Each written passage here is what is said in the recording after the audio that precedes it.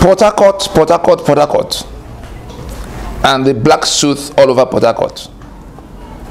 NINAS is sending this message to Port and those suffering from the soot in Port. Our good friend, uh, Governor Nyesom Wike, has said he has left it to God. But please, we have to take a little more responsibility. God will not come to contest election in Nigeria so that he can do the things we can do, we should have been doing for ourselves.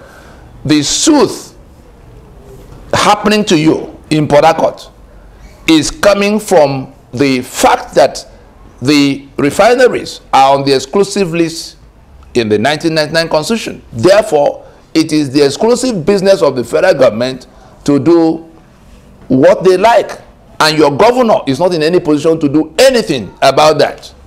That is what has tied his hands. And so, if you want an end to that soot, you must now step forth to join those who are insisting that that constitution must go down. And the first sign of the, the first evidence of seriousness, the first evidence of sincerity in that push is that you must be one of those who will say today in 2021 that we will not go to another election under that constitution. That the, the, refineries that are on that exclusive list, see the way it works. The people who sell the 3 million barrels of crude oil that Nigeria sells every day are seated in the comfort of Kano and Sokoto and Maiduguri. You know them.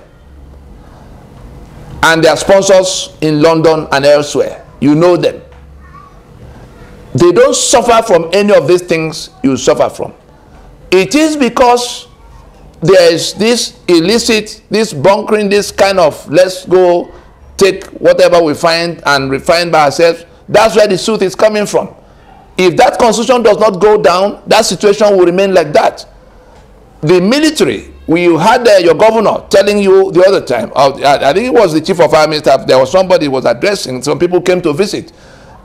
All of those on military postings in Port Harcourt, those generals there all have their own refineries and, and, and bunkering business illicit refining, illicit bunkering going on. That's what's going on. Now, the people who sell these 3 million barrels of crude oil in the name of federal government of Nigeria are nowhere near where the soot is happening. And if this constitution were to go down and we were to unbundle the, our, our sovereignties from inside that document, you will, you will immediately resume your right to regulate your environment. That is when your governor or any kind of governance that is in charge of the area will be able to put regulations, something that will, there's nothing they can do now. The people doing it, they know. But the constitution forbid them from intervening. And you can see it has become a health issue. People are dying in numbers you can't imagine. The stories we hear from the, from the, from the medical people managing that situation is, is, is at a pandemic level.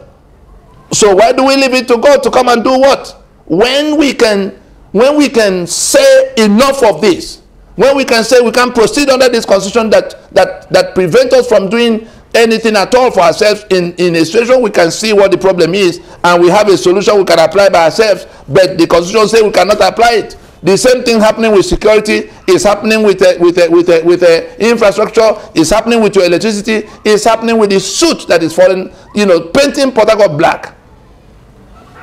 It will be your fault it will be your responsibility if you do nothing and you join your governor in saying you leave it to god.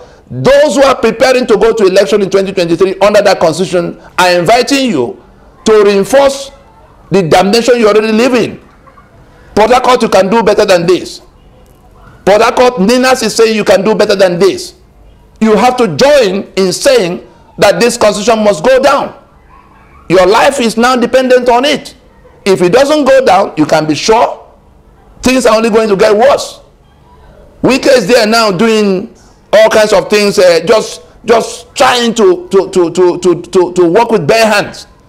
The powers required to address the situations surrounding you confronting you coming towards you go beyond what your governor have for today.